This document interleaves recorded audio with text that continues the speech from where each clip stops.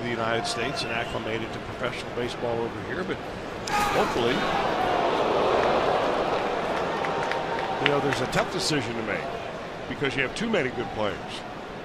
I can't tell you without seeing any of them play on a long-term basis, but who's good and who's not. That's a stolen base lead for Billy, I can tell you that. And they are looking in the Rays dugout to see if they want to replay.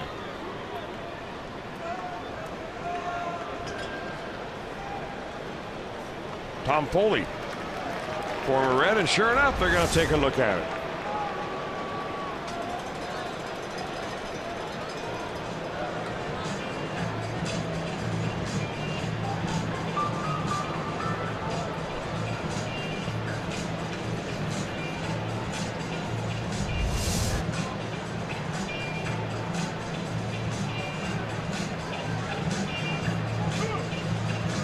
That must be kind of an interesting conversation between the the runner that might have been just picked off and the first baseman that got him.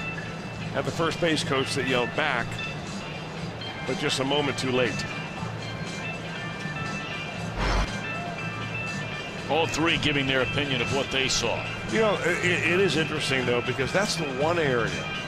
Of course, you'd rather have a first baseman to be able to hit number one, but defensively, first base is made for left-handers. No There's doubt. no question. Easier throws across the infield, especially to second base, better throwing lane, and that swipe tag at first base on a pickoff. Well, when you get the two best in the league for a long, long time, and they, they kind of, you know, overlapped one another. And it's interesting because one was the other's idol. The two best for a long time were Keith Hernandez and the other Mark Grace. Defensively at first base, Yeah. there's no doubt.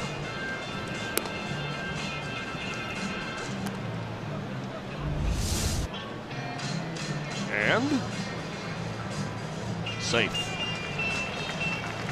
See Billy saying, I told you I was safe. And Logan says, come on.